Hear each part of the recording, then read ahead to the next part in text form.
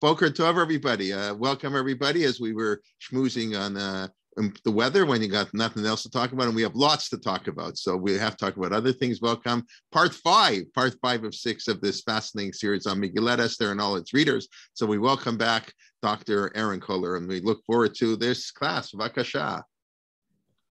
Thank you, Rabbi Kelman. Okay, yes, we are, so no news sources right now.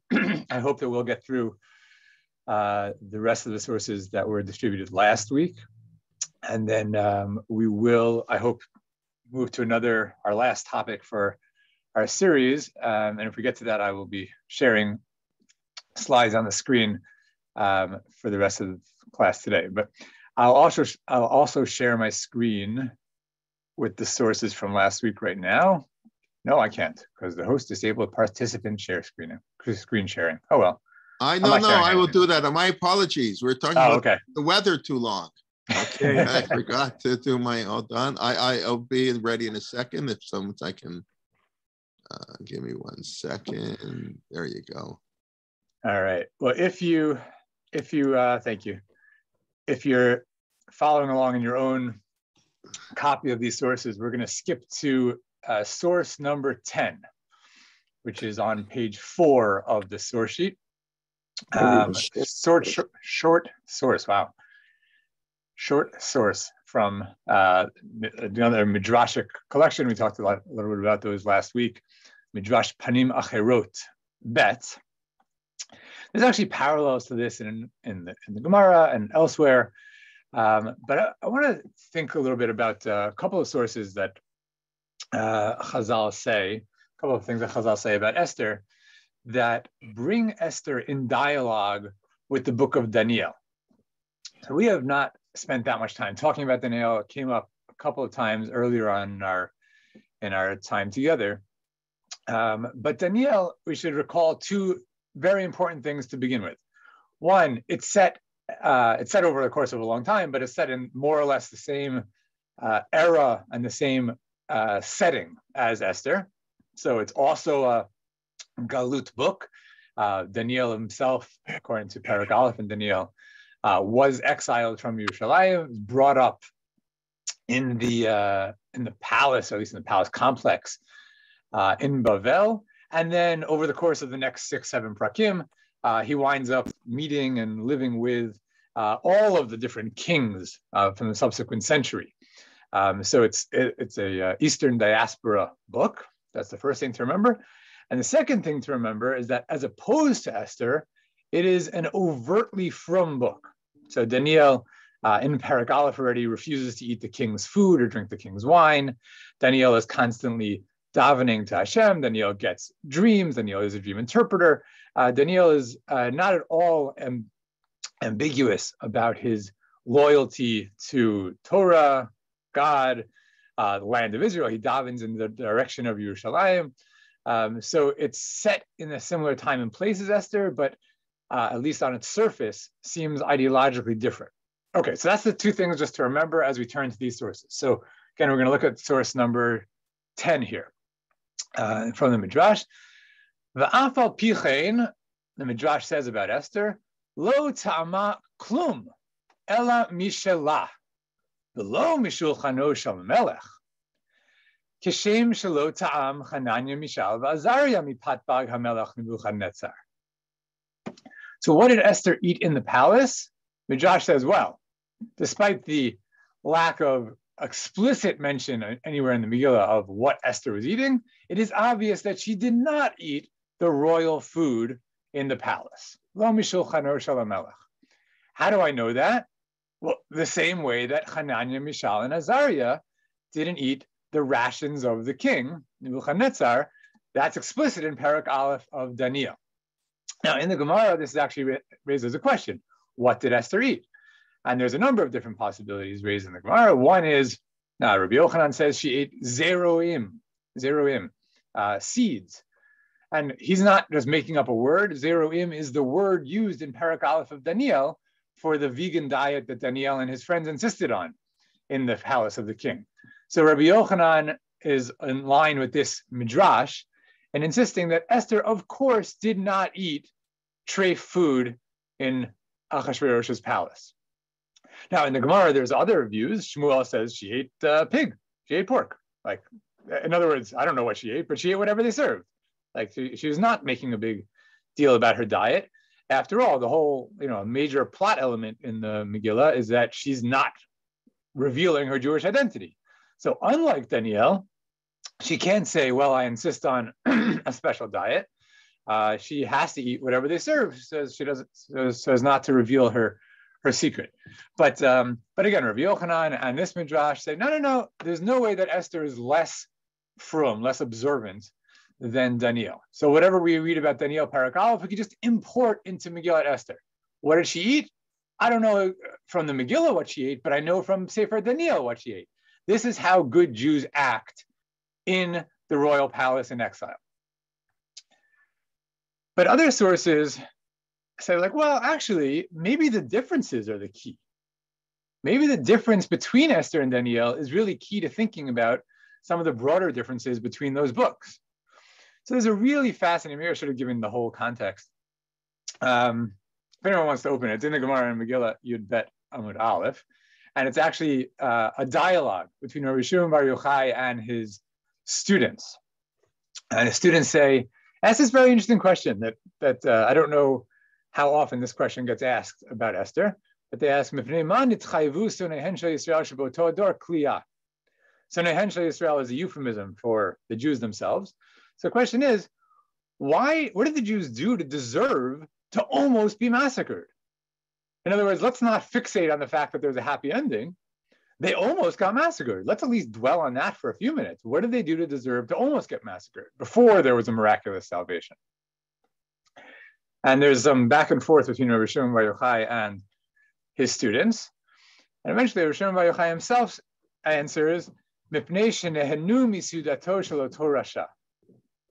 the Jews did wrong is that they participated in the banquet, in the feast of that wicked man. And that, of course, is Achashverosh. So he's he's noticing, first of all, something in Aleph of Megillah, of Megillat Esther, which is that the Jews are not mentioned in Aleph and Megillat Esther. Nothing about the Jews in the entire Parak, which parenthetically raises the question of what do we need Aleph for? Like, why, why do we need to know this at all? Why don't you just start with Achashverosh was looking for a queen? Like, what do I need to know about why he didn't have a queen? So I'll leave that for you to think about. But in Parak Aleph, one of the reasons that it seems uh, divorced from the rest of the narrative is that the Jews aren't even mentioned. So we picked up on some hints about the Beit HaMikdash and about other things, but nothing about the Jews. And Shimon Bar Yochai says, well, that's really important. That's not because the Jews are not involved in Parak Aleph. On the contrary, it's because the Jews are like everyone else in Parak Aleph. It's this you know, pan-Persian feast. Everyone's coming to party for 180 days, and the nobles are there for seven days. And uh, this is all not the other way around. I'm sorry, the nobles are there for 180 days, and then the people of Shushan are there for seven days and uh, it's all very nice. And where are the Jews? They're also part of of the uh, Persian Empire. So you know, whatever role everyone else is playing, they're playing also. And Shimon Bar Yochai says, well, that's a problem. That's a problem. The problem is that they're not doing what Daniel did. So Shimon Bar Yochai seems to be contrasting the beginning of the book of Daniel with the beginning of the book of Esther. And he notices that the books both start with a focus on food offered by the palace to the Jews, but then they diverge. In the book of Daniel, Daniel and his friends, Hanani, Mishael, and Azariah, say, We can't eat this food. We're, we're new here. We don't do this. We don't drink your wine. We don't eat your food. We need a special diet. But when I open Esther, I get the same opening setting. Hey, here we are in exile. The king's serving food. But what are the Jews? The Jews doing what everyone else is doing. That's the issue. The issue is that they are not doing what they ought to be doing. So he's also reading the book of Esther in light of Daniel, but he's not reading it as I can use Daniel to tell me what Esther is doing. He's using it as, as a way of showing what the people in the Megillat Esther are not doing. Daniel acted properly. He says, I can't eat the food. But I look in vain in Parak of Esther for any resistance to the royal food. They don't do it. They just apparently participate in the in the party. Now, I, I want to think for a second about what this does interpretively, because what Shimon Bar is doing is not just ob- observing that the stories diverge. He's really saying, look, this is the key to the rest of the story. Because remember, this, the question that he's answering is, why were the Jews uh, deserving or nearly deserving of uh, destruction? So uh, I put this little chart there just to sort of step this through. So Daniel begins with food in the palace, and we hear right at the beginning, Daniel and his friends don't partake in the food. So in the rest of the book of Daniel, that explains why Daniel is constantly protected by God. God speaks to him. He has revelations. He understands dreams.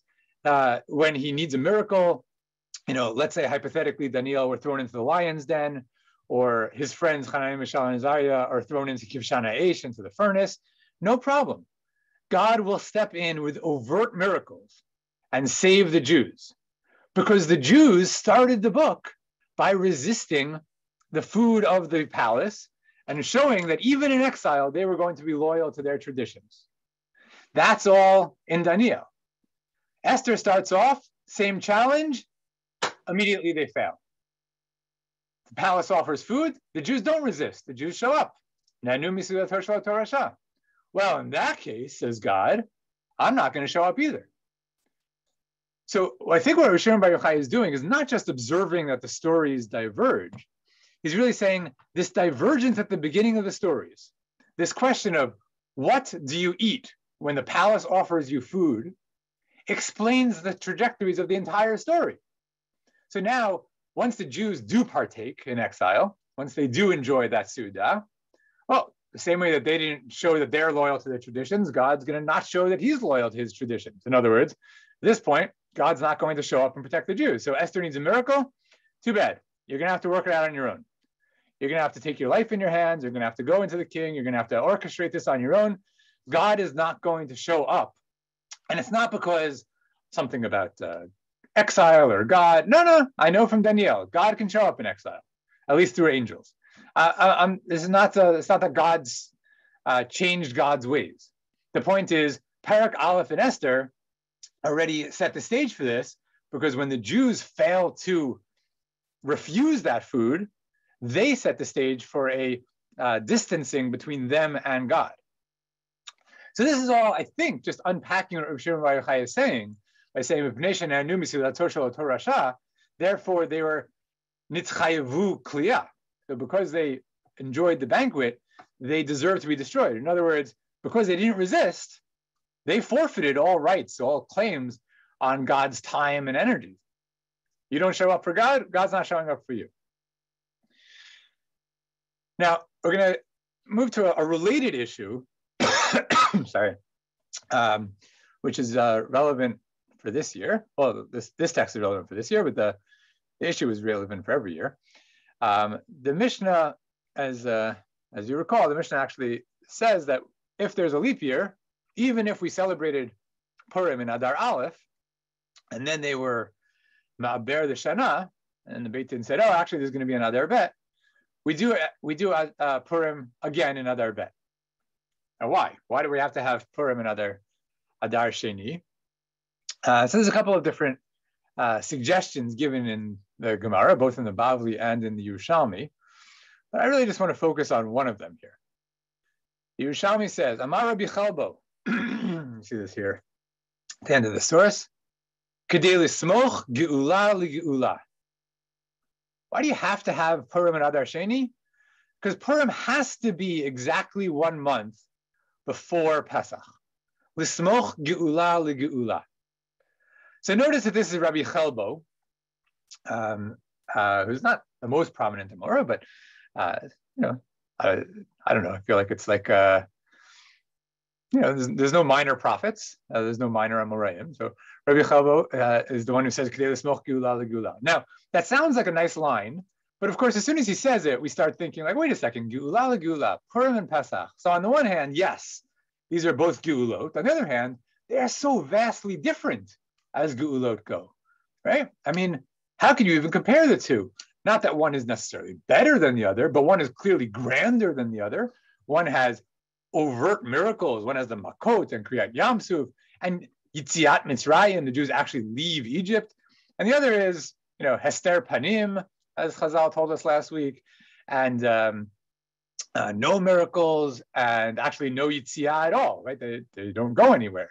So the Smoch gula Geula, it sounds it sounds good, but it also sounds intriguing. Like you know, putting these two Geulot next to each other is not because uh, Matzah Minat Mino. It's not that they're you know oh we have two things that are similar they should be juxtaposed.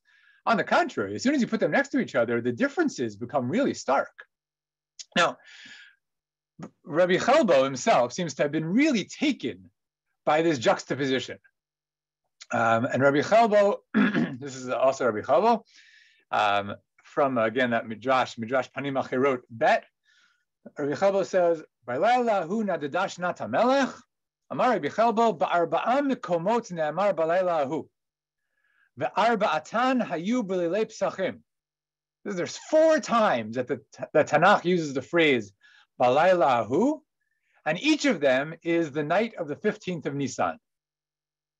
What are the four? Well, first, Vayiba Chatzi Alayla, Zayal El Pesach. So that one's kind of straightforward that it was Tetvav Nisan, right? That's Yitziat Mitzrayim. Vayiba Layla Hahu Malach Hashem Machanei Ashur. Uh, when the uh, Yerushalayim is saved from Sancherib's onslaught in 701 BCE, uh, that's Balayla Oto Laila Leil Pesach Rabbi Chelbo tells us that was also Tetvav Nisan. Vahi Hahu uh, Vayomer Elav Hashem, oh, sorry, Kum Reid B'machaneh, Lo Pesach, Gidon story, and Vachat B'mei Mordechai, So four Balayla Hu's, all four of them are Tetvav Nisan. Now, to be to be honest, Rabbi Chavo is playing a little bit loose with facts here uh, in order to create this scheme. So one fact that he's playing loose with is the idea uh, that Balayla Huna Dadashna Tamelech could be Tetvav Nisan. Uh, it can't really be Tetvav Nisan. Or just just in the chronology of the Megillah, it could be Tet it could be Yud. It can't actually be Tetvav. You remember that the 13th day of Nisan is when Haman sent out his decree. And then either that day or let's just say that day to make it as compact as possible. Uh, Esther says, go fast three days. So those three days have to be at least Yudalad Tetvav Tet Zayin. So Balailu has to be at least the night after Tet Zayin. So he's playing a little loose with the chronology here. He's sort of moving it up one day to get it onto the night of Pesach. Um, in a second, I'll say that it doesn't matter, but um, but still, just notice that he's playing loose with the facts. The other fact that he plays a little bit uh, fast and loose with is the first one. So it's true that by Hiba Chatzia Laila, Zayal Pesach is obviously Leil Tetvav. But remember his claim, his claim had been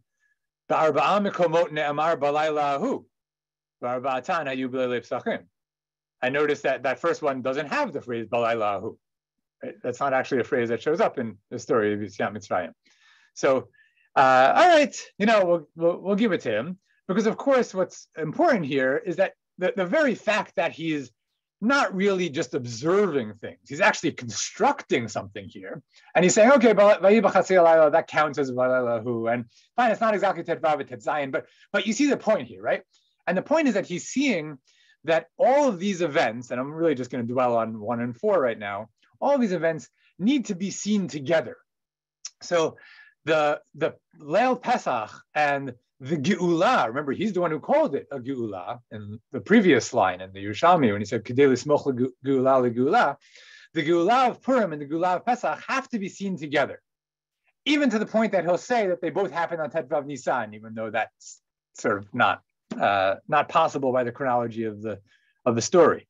Now, what is he seeing though? Like, why does Purim have to take place on Pesach? So we already observed a few weeks ago that that's true, that that juxtaposition seems uh, beyond coincidence. In other words, the fact that Purim takes place on uh, Pesach does seem really significant.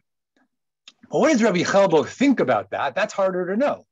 In other words, what does he think of, that tells us about Purim? What does he think that tells us about Pesach? What does he think about tells us about the juxtaposition? I don't know.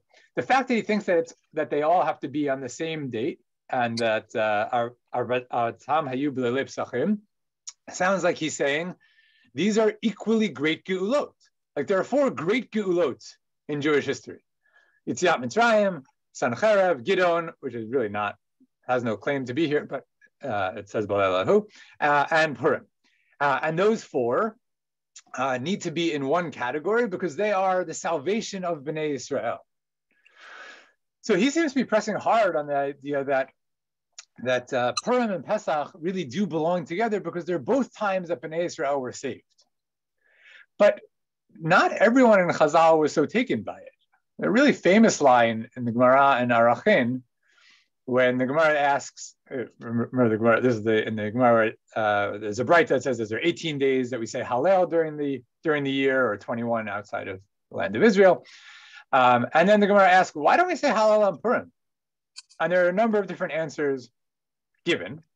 But Rava, what do we know about Rava? Where did Rava live?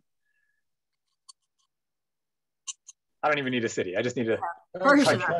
Yeah, in Bavel, exactly. So he's off in Galut, right? He's in Galut, in Bavel. Rava Amar in the fourth century CE, right? So he's he's uh, you know 900 years, 800 years after uh, Megillat Esther.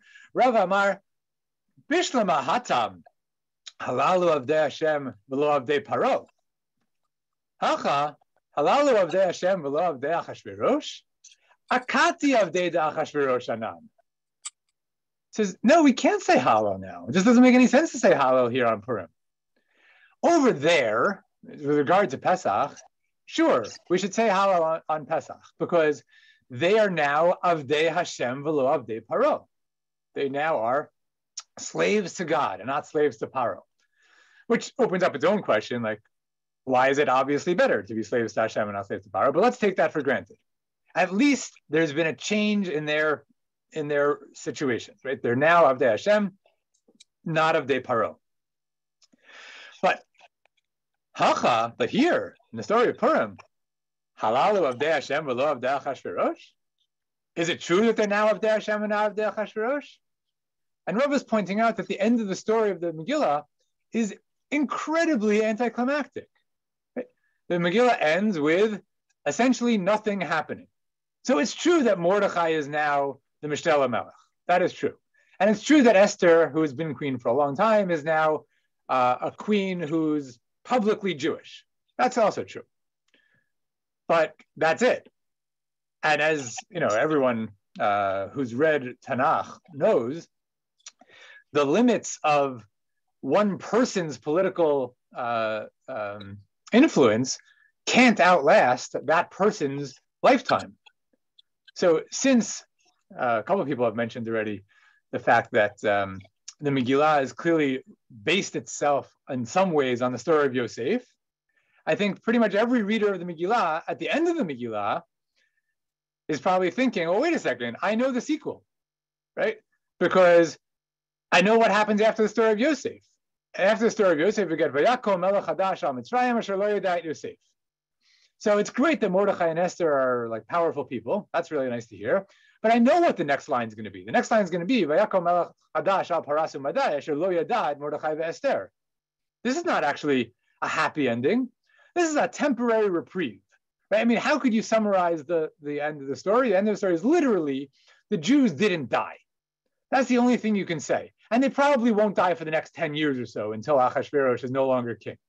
But that's that's really all you can say. I mean, who's to say that in 10 years from now, uh, obviously, you know, no one at that time could have said this, but when Artashasta is the king, uh, that there won't be another guy, Haman, who uh, is Malshin, uh, Kotev Sitna al Bnei Israel. And like then, I don't know, we're going to count on there being a, a closeted Jewish queen again. I mean, this seems like a, a bad template for Jewish survival in the exile. Like it worked once, but that's kind of all we can say. And that's what Rava says.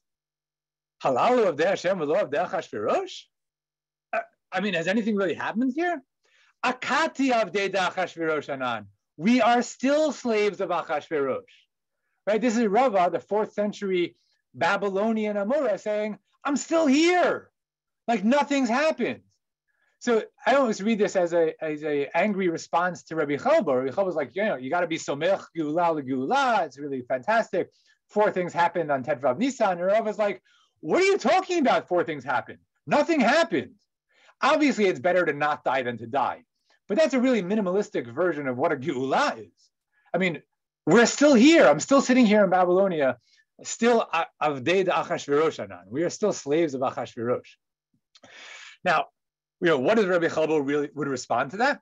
It's a good question. One possibility is that he might say, no, but that's the point, Rava. You know, don't sell it short. In Galut, that is a geula. Like maybe that's the point. Maybe you know, give up your hopes for a Yitziat Mitzrayim redux. You know, a, a big new exodus from Babylonia. That's not happening, man. We're stuck here. At least we can say Hallel, or at least we can. Uh, he doesn't say Hallel, but at least we can celebrate the fact that we did have a uh, a sleeper cell Jewish queen who was able to come out at just the right time and save the Jews. We did have a leader like Mordechai who was able to uh, mobilize them and and uh, get the word to Esther, and you know together they were able to save the Jews. Like, hey, that's not that's not nothing. Uh, that is a geula that's worth celebrating, and maybe that's what Rabbi Chabal means. Yes, this is not like Pesach. It's of course a far cry from Pesach, but it's our generation's kind of Pesach. Like we're not sitting in anticipation of there being Kriyat Yamsuf anytime soon. What we can celebrate is when things go remarkably well for the Jews. That's something to celebrate. So maybe that's Rabbi Chabbal's answer. Rava's like, I don't understand what the point of celebrating is if, if we didn't have Kriyat Yamsuf.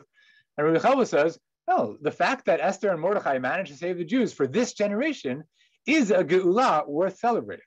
Of course, I don't know what Rabbi Chabal really thought, um, so I'm not going to speculate further.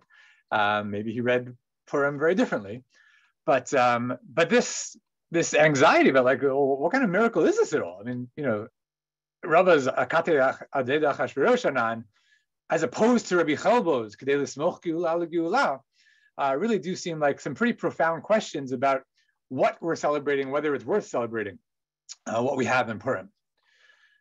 Um, okay, I'm just gonna give you oh a typo here, but uh, one, one last source here. So uh, maybe we'll come back to this if we have more time next week. I don't know, but I want to make sure that we get to some uh, some of the other material this week and next week. So I'm just going to uh, give you one last voice in this discussion, and that's Rabbi Yeshua ben Korcha. So there's a little mistake in the in the English here, but um, this is back in the Gemara in, in the Bavli Megillah Yudalit Amud Bet, as a related text you see here in a different, a very different kind of text, the um, Scholion, which is a, the commentary on Megillat Ta'anit, also Rabbi Yeshua Karcha. So you can look at that on your own. But just one, uh, one line from Yeshua ben Korcha in the in the Gemara. Again, these are not actually set up as a dialogue in the sources, but I'm reading them as a dialogue. Because Rabbi Yeshua ben Korcha almost responds to Rava, um, which again he doesn't literally, but he almost responds to Rava thematically so what do you mean? Uh, we we absolutely need to uh, say Hallel. Uh, again, he's not literally saying say Hallel, but they say Hallel on Purim.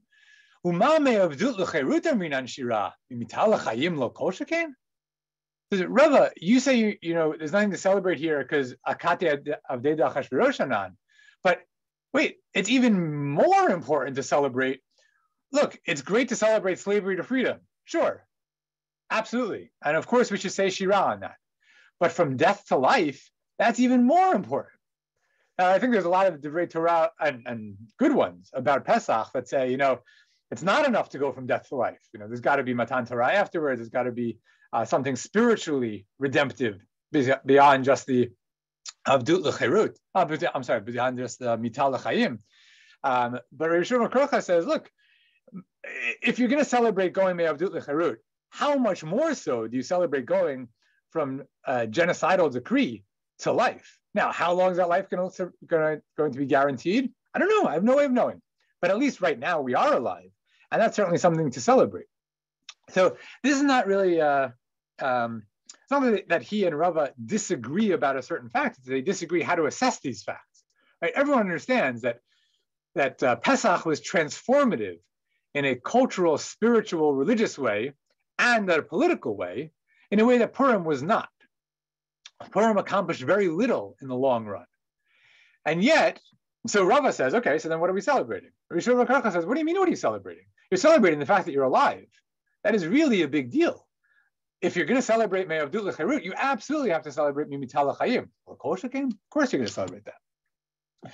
Um, so I'll again, maybe we'll maybe we'll uh, have a chance to circle back to some of these sources um, next week. And there's also one long source on the next page that I'm going to put aside for now. Um, so I'm going to stop this actually. Um, and I'm going to, at least uh, for the time being, pause our discussion of Chazal's interpretation of Esther. Um, I'm going to take a couple of minutes.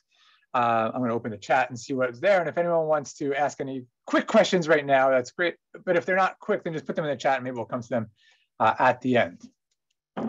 And then we'll switch to our second half today and uh, open a new, new topic about some of the modern readings. If you want, you, you can quickly go through the, the chat and then we'll leave. Yeah, I'm just seeing if anything. I, I, I, if yeah. I'll respond to anything, I'll read it out loud. But yeah, yeah, yeah. Okay. Um, no, I mean, there's a lot of good good comments here, but since everyone can read them, I don't think there's anything I need to respond to. I think these are you know, great and, and good contributions to the discussion. Uh, but I'll leave them for there for everyone to uh, uh, to think about. Okay, good. In that case, I'm going to switch gears now. Put away our our uh, Chazal hat for a little bit. Not that they're ever far in the background. And um, give me a second. Here we go. I'm going to share some slides, and here's here's a map of what we're going to step through over the next uh, uh, today, and then um, and next week. All right, so here's here's my typology of modern readings, and you see they're not only modern, okay?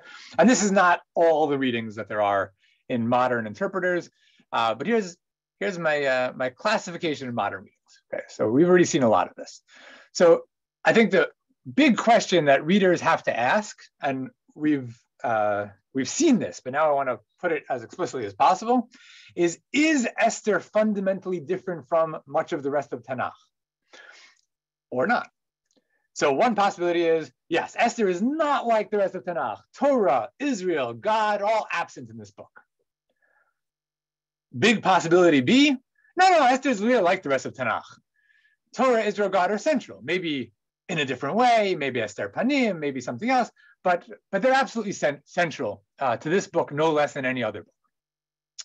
Now, if Esther is not like the rest of Tanakh, then I'm again, this is somewhat artificial, but uh, you know, I think it's uh, fair. Uh, then there's two further possibilities. Then one possibility is Esther has to be rejected. This is not a good book. We need a book that centers Torah, Israel, and God. And if Esther doesn't do that, then we have to reject Esther. Another possibility is we love books that don't center Torah, Israel, and God. We read the Bible and are super uncomfortable because there's miracles all the time and God's in charge. And like, this is not our world. And either because uh, I'm not sure God exists or because I don't see God in my world. Uh, and so I want a different kind of book. And Esther is exactly the kind of book that I need. This is fantastic. This is a book that allows for diaspora existence without miracles. So this is the best, best book ever. Big possibility too. Esther is really like the rest of Tanakh. Torah, Israel, God are central. Then how do you make Esther read that way? Well, one possibility is just very heavy-handed correction. You go in and you're like, oh, you missed it, right? So like the Greek version that we saw. Like, let me tell you about the dream that Mordechai had the night before this whole thing started. Let me tell you about the prayer that Esther offered before she went into Achashverosh. Or some of the Midrashim we saw. You know, how do what did Esther eat in the palace? She ate a vegan diet. How do I know that? From the book of Daniel. Um, so this is a, I don't mean heavy-handed in a, in a bad way, but heavy-handed in the way, in the sense that, you know, you don't see it in the book, I'll put it into the book. And then the last possibility is that Esther is like the rest of Tanakh, but how, how can that be if Esther seems so different? Ah, it's all satire. It's all satire. And that's something that we'll come to uh, hopefully today. Uh, that's a that's a really sophisticated uh, approach. Uh, so I said sophisticated modern Zionists, and we'll talk more about that when we when we get to them. Okay, so I'm not going through all the different things that we've already seen. Um, so, but I'm going to try to. We'll, we'll, do a little bit of jumping back and forth, but um, but as you see in in most of my uh, parentheses here, uh, very few of these are new.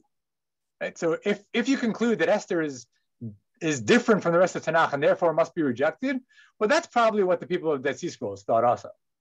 They were like, this is a bad book. Uh, I mean, this, this, book has no God, this book has no Israel, this book has no Torah. So there's no Esther at Qumran. We saw this already um, for different reasons, political reasons rather than religious reasons. Uh, the same thing, you see this is Hotzat Tivot Beitar Poland, Varsha, 1937. Um, so uh, in the 30s, uh, Beitar Zionists like, get rid of Purim. Like Purim is a bad holiday for us. Purim is a holiday that's all about diaspora. Uh, it doesn't have the land of Israel in it. So we're going to stop celebrating that, right? Uh, Shnei Moadim, Yud Adar Sema Yadutim Mechudeshet. Purim Sema Yaduta Galutit. That's a diaspora holiday. We're getting rid of that now. That's not for us anymore. It's not the kind of book we need. We need a book like Yoshua. We need a, a story like Tel Hai, right? These are the stories that are resonant and relevant to our Judaism. A book like Esther, which celebrates, like as Rabbi Shua ben Korcha said, uh, surviving, like literally just surviving in exile, that's that's great for diaspora Judaism. That's the Aduta Galutit. But now, now that we're Beitar Zionists, we don't celebrate this book anymore. So they advocate just not celebrating Purim anymore. It's not a holiday that's relevant. The second possibility I gave was that Esther is different, and therefore, this is a really important book. Like maybe I'm not so comfortable with a book like Yoshua that says that God's going to help us with miracles uh, conquer the land of Israel. Like maybe that's not where I am right now. I'm a diaspora Jew. I uh, I live in exile. Maybe I live in uh, the United States of America or Canada. Maybe I live in Morocco. Uh, maybe I live in Persia. You know, I, am not uh, I'm not looking for a story that's going to tell me how God's going to help me knock down the walls of a fortified city so I can take over the land. Like that's not what I'm doing. That's not my Judaism. Also, God doesn't really show up that often in my in my life. So I don't really know what to do with with books like that. So maybe I look at Esther and I'm like, this is the book for us.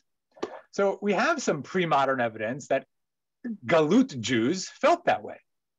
So the first evidence comes from the city of Dura Europos, which you see here is uh, right all the way, all the way in eastern Syria. Uh, this has been for the last 10 years or so central ISIS territory. So unfortunately, uh, in the news too much. Uh, it's good for Dura Europos when it's not in the news. It's good for all of us when Dura Europos is not in the news. Um, but anyway, so Dura Europos is right. You see, it's, it's right on the Euphrates. So here we have a satellite image of it. And I think what you can tell is that this is a really well preserved ancient city. I mean, you see the, the outlines of it. It's built right up to the river. The river used to be literally, literally right next to it. Um, and so that was one major defensive side. And then here you see this mountain. So it was defended well on two sides naturally. So it's a very strategic city. There's lots of fascinating things to say about Dura Europos that I will not say now because I need to stay stick to my topic. Um, so uh, here's a, a plan of the city, but I also put a link here. Uh, Yale uh, excavated it back in the 1920s and 30s. So um, they actually own uh, a good amount of the artifacts uh, that were excavated in Dura Europos back then. Um, the one part that's of direct relevance for our discussion right now is the synagogue, which you can see is right up against the uh, western wall of the city here. And it is a amazingly well preserved synagogue. And it's well preserved because of the political history of the city, which I'm promising not to talk about. So I'm not going to talk about, but I have to say that uh, in defending the city, the people of the city actually covered up this entire row of buildings with dirt in order to make this not just a wall, but a massive fortification defending the western side of the city um, from enemies, who I won't talk about now. Um, so, in doing so, they preserved the building in a way that virtually no ancient buildings are preserved.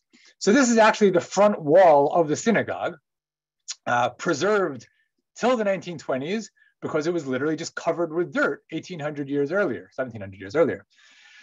Um, now, it's uh, you know it's a spectacular synagogue. It is in right now the Damascus Museum. One hopes it is still in the Damascus Museum. It has never been on display in the Damascus Museum uh, because in the 1930s, Syria thought this would be great. We're going to have the uh, oldest preserved synagogue in the Damascus Museum, and Jews will flock to it and you know probably out the wing and it'll be a good fundraising opportunity but by the uh, 1940s and 50s, that no longer made sense. So it's actually been allegedly in a closed off wing, not on the maps of the museum, but allegedly well preserved. So of course, today everything is uh, even more tenuous. But anyway, this is the front wall of the of the Beit Knesset, the synagogue. So you see the uh, Aron for the for the Torah, and you see these beautiful paintings that decorate all of the walls of the synagogue. Now, each one of these is is uh, worth more uh, study. But just to the left of the Aron, I'm going to zoom in in a second. But just to the left here, right next to the Aron, is the Purim panel, the Esther panel. This is the story of Megillat Esther, just in the front of the shul, right next to the Aron. And the characters you can't really see in this uh, um, in this picture, even though the picture is quite good. Um, some of the characters are actually labeled. So it actually says down here um, Mordechai, and it says over here Haman, and under this queen to the right who's wearing like a halter top or something, uh, it says Esther, uh, actually spelled with a tet, um, Aleph Samach Tet Yud Resh, um, which I think probably indicates that the artist or whoever wrote that knew the story of Esther, but had never read it in Hebrew. Um, they don't know it from the text. They know it because of the story of Esther. So there's a lot here that's uh, sort of interesting. You know, the choice of the scenes, the middle, the middle part here. These four people. It's unclear what exactly is happening there. There's messengers. That uh, unfortunately no labels on that that middle part. But um, the the most important thing I just want to say for this morning is that um, is that this is the scene chosen to be right at the front of the shul, next to the Aron. So in this shul in Syria, when they're thinking, what should we decorate our shul with? They have the Aron. The Aron itself actually has three much smaller pictures of the Beit Mikdash, which of course has been destroyed for 150 years already. Uh, I should say this is the early third century. I think I didn't say that. I'm sorry. Um, early third century. So it's destroyed in 243. So um, in the early 200s, so roughly contemporaneous with the Mishnah. So on the Aron, right next to the Aron, they put the story of Esther. And it's, of course, not verifiable, but it seems likely that one of the reasons they do this is because they do see, see this as this as their story. Of all the stories in Tanakh, this is one of the stories that's most meaningful to them. They're living here often, you know, Bavel, broadly in, uh, in the Eastern diaspora. And of all the stories in Tanakh, this is one of them that's most meaningful to the Jews in Galut. So even without worrying about the details here, and there really, again, are a lot of interesting details, um, the very choice of the, of the scene to decorate the front of the shul with uh, may show that for diaspora Jews, this was a story that was particularly meaningful. The other evidence that this was a story that was always particularly meaningful to diaspora Jews uh, is the phenomenon of, of, what in Hebrew is called a Purim Sheni, which is not the same as Pesach Sheni or of like Yom Tov Sheni Shel Galiot, uh, of all the Chagim. Purim Sheni, which in English is usually called like a local Purim. And we have uh, evidence of, I think, at least 30 um, local Purims that were celebrated in different communities around the world over the previous millennium or so. Um, and a lot of these communities, something happened to them. They were saved from something, uh, something political. They felt like they were in trouble. They were going to be in trouble with the ruler, with the king, maybe kicked out, maybe even worse.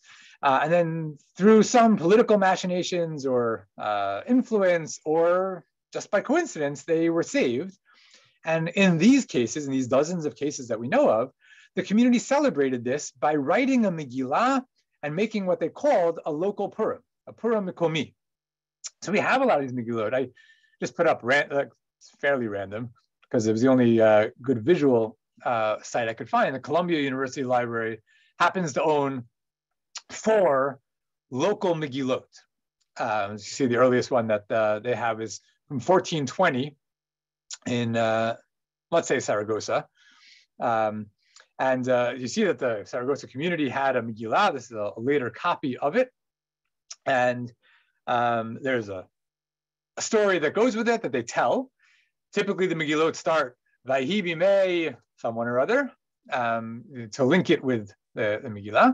Uh, and the, on the right side of the slide here, this was just taken from the Hebrew Wikipedia page, um, the article Purim Sheni, which is a list. This is really um, actually from uh, uh, Leopold Zunz's book on Tfilot that he wrote back in the uh, 1850s or so. He compiled a list of all the local Purims that he could find. And now it's you know, conveniently up on, on Wikipedia. Um, but here's the point that I want to dwell on for a second. We don't have any evidence of like a local Pesach uh, or a local Hanukkah or a local, I don't know, Yom Kippur. I'm not sure what that would mean. Uh, Purim is the holiday that lent itself to being localized. We're like, oh, we've experienced something like Purim. No one experienced anything like Pesach. Like, what would that mean? Right? I mean, I conceivably, but in fact, no one did experience anything like Pesach. But Purim is a holiday that people identified with. Every time there was something that worked out really well, that a well-placed Jew managed to convince the king to you know, uh, uh, avert a decree, or um, a, uh, oh, a whole bunch of uh, different stories. But anytime that, that a, a community felt that they had been the beneficiary of an unexpected salvation that just seemed to work out better than you could have hoped for, that's a Purim. And that's, I think, really important, not only for thinking about all these other local Purims, which are really fascinating, and uh, no one's written like a book about them. So if anyone's looking for book topics, uh, this, it's really, really fascinating. A lot of them we don't know that much about. We just have, let's say, a Megillah from a certain community, but we don't know what happened. We don't know the story. But in any event, um, so it's really important for these events, but it's also important for because it tells us a lot about how they thought about the actual Purim. In other words, they thought about the actual Purim in a way different from the way they thought about Pesach. Pesach is a one-time thing that hopefully we replicated when Mashiach comes, right? So it happened once, it'll happen again. That's Pesach. But Purim, they understood as something that could happen all the time because it's not something that's transformative in a way like Yetziat Mitzrayim.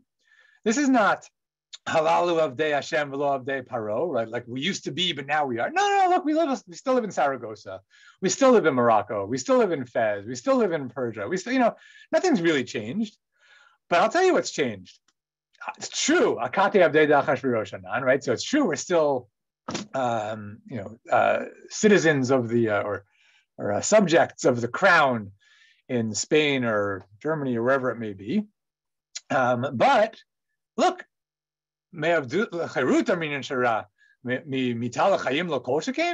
like that's what Purim's about, right? We're going to celebrate the small victories. We're going to celebrate the fact that we did survive, that we managed to maneuver our way through the world again. It's a complicated world. It's really complicated when you're a minority Jewish population in a big, scary world ruled by other people who don't necessarily like the Jews. And Purim tells us that if you manage to survive that this, this generation, like kol kavod, you should celebrate. That is absolutely worth Yemei Purim Ha'ela. So that's the original Purim, and that then is a license for new Purims. So the, the key point is that uh, this is, I think, uh, good evidence for the fact that Jews in the last 1500 years at least, but probably more than that, looked at Purim as a holiday that they could most identify with. Like, this is the holiday of their lives. This is the one that, like, I know this story. Like, this is a story that's of my life. It's not, if it's not mine, it's my grandparents, but like, we all have a Purim story in our community. Like, there's always some Haman waiting around the corner, and there's always some story about Haman who lived not too long ago and not too far away. And the same way that Purim, the Megillat, Megillat Esther, is the sort of archetypical story of survival in Galut. So we have our own stories of survival in Galut. And what this means is that Megillat Esther was seen as different from other books. So this is not like Sefer Shmuel, right? We don't have a Jewish king. We don't have David HaMelech and the Beit HaMikdash. That's, that's not our life. But we do have a life like, like the life described in Megillat Esther. So this is a book that's different from other books, and it's our book. Of all of the books, this is the one that speaks most resonantly to us not Daniel.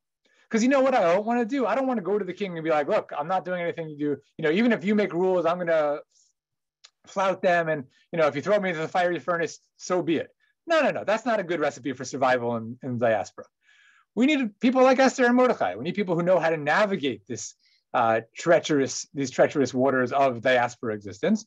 And Megillat Esther is the book that speaks directly to diaspora existence. So those are those are the uh, pre-modern people who look at it this way.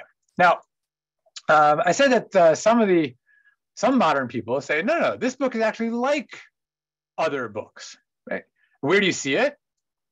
So I'm going a little bit out of order, um, but uh, Rabbi Kelman, I think the first week or so, you you said, "Oh, uh, Rabbi Leibtag sends a message. He doesn't read Esther the way I do." So I don't even know how I read Esther. I haven't, I haven't said a thing about how I read Esther. Uh, I'm only raising possibilities here. But let's say something about how Rabbi Leibtag reads, reads Esther. Rabbi By the way, he, he did say he did say I think he listened to a couple of talks. He did say actually you're not so far apart. And the, but anyways, we'll uh, go ahead. All that means is that I'm a chameleon. um, but here's what Rabbi Leibtag writes about it. He says, no, the, the whole point of the Megillah is a satire. Yeah, it sounds like it's a diaspora-centric book with no God, no Israel. You know, uh, you know, we, we live here in Shushan. That's the Bira, uh, Tchelet and Argaman. Um, you know, all the important things are happening in Shushan, but that's a tragedy, and it's such a tragedy because it's really a satire, and it's not a sad book; it's a mocking book. Uh, so I took just uh, one phrase. He's written this uh, a number of different places, and I'm sure he's uh, spoken about it, maybe even in Toronto. But uh, in any event, uh, based on this historic and prophetic setting, one could suspect that the impending destruction of Am Yisrael by Haman may be a divine punishment for their apathy, not so different from Bar Yochai. After all, the Jews living in the Persian Empire appear to have preferred Shushan over Yerushalayim, opted to subjugate themselves to Achashverosh rather than respond to God's call to return to their land, and replace the Beit HaMikdash with the palace of Achashverosh. But for Rabbi Leibtag, this is not a, a direct, overt criticism of uh, the Jews, it's a satirical criticism of the Jews. It tells a story that sounds like a great victory, it sounds like a geula. You know, Rabbi Chelbo got tricked into thinking it was a geula. It's not a geula, but it sounds like a geula to mock the Jews of Bavel who think that this is a geula. They think that it's like a big deal that uh, they've survived in Shushan. But actually, according to Rabbi Leibtag, the whole thing is a satire. Because what should they be doing? They should obviously be in the actual Israel, in the actual Beit HaMikdash, right? They have this choice. So they're opting to stay in Shushan. Well, in that case, you know, this is what you get. You get a degraded uh, second-rate geula, and you know, I'm going to make fun of you for thinking that this is a, a great redemption. But uh, the real redemption, of course, would be in Yerushalayim with the Beit HaMikdash, and so on. Um, uh, this, is, this has been argued also by uh, uh, Professor Jonathan Grossman, Yoni Grossman, who maybe some of you know, also um, a really excellent lecturer as well, a professor at Bar Ilan. Uh, so he wrote a whole book called The Outer Narrative and the Hidden, Hidden Reading. Um, and in his, so this is also taken from the uh, virtual Beit Midrash of uh, Yeshivat Har Etzion.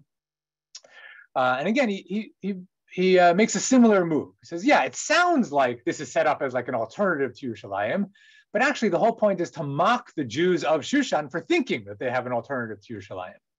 This is, this is a terrible condemnation. You see the last line, a condemnation of the Jews of Shushan, luxuriating in the lavish royal feast rather than helping their brethren who return to their land. Now, um, Professor Grossman also makes the point that uh, that I want to I want to now make about this. There is absolutely no way to know whether this is right or not. I don't mean to say that as a criticism. I mean to say by the terms of the claim, it's impossible to know whether it's right because as Grossman writes at the end of his uh, one of his, he wrote a 31 part shiur, series on the VBM. Um, so he writes, can we be sure that irony is intended in the author's description of the massacre? No. He's quoting someone else here. Uh, literary study is not a murder trial. We cannot expect proof beyond the reasonable doubt, only a reasonable premise and sufficient textual evidence. And then Grossman says, this is extremely important for any literary reading, which may sometimes appear to project conventions that are not necessarily present onto the biblical narrative. However, it is doubly true when the reader argues for the presence of a systematic, hidden writing throughout the story. So this is a problem, just a problem that anyone who claimed that there's a satire here is going to have to grapple with. So the last, my last example here is actually someone. Is he here today? Is uh, Seymour here? I don't know if he's here today. Um, anyway, Seymour Epstein, who's been with us uh, the last few weeks, I'm also here, in a recent book called The Esther Scroll. I'm here. Uh, comes to a, oh, there you are, Epi. Uh, says, through a careful reading of the text, whatever, I'm skipping a little bit, sorry, Epi. Uh, it argues that the, uh, the author's conviction that Jews must not live outside the land of Israel, nor under any kingship but that of God. It is a tragic narrative with much hyperbole and some comic relief, not a tale of victory. Its two Jewish protagonists are highly assimilated and distant from Jewish values, not the perfect heroes we later made of them.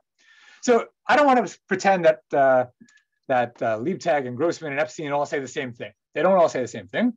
What they do share, though, is a sense that the surface meaning of the book is actually not a happy book the way it may appear to be. In fact, if you think so, then you're probably a Gullus Jew also. You probably don't get it. But in fact, the book is a criticism of that perspective. So, in the just for two minutes, I'm going to dwell on the claim of satire, and then I'm going to wrap this up. We'll have to pick up next week. So, I said it's impossible to verify. This is one of the big problems with satire. How do we know when something is satirical? It's really hard. You have to know a lot about the culture and the expectations of a book in order to know whether it's satire. And you know, all I put here are some examples recently of people getting tricked into thinking that things were that, that actually were satirical were in fact sincere. So this is a funny one from, uh, uh, you see it was already 20 years ago. Um, there was a article, let me see if I, I included it.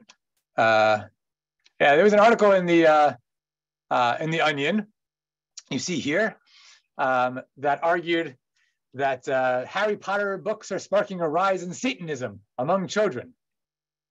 So they, they, they profile Ashley Daniels, a third grader, who uh, you see in the last paragraph, I used to believe in what they taught us at Sunday school, said Ashley, conjuring up an ancient spell to summon Cerberus, the three-headed hound of hell.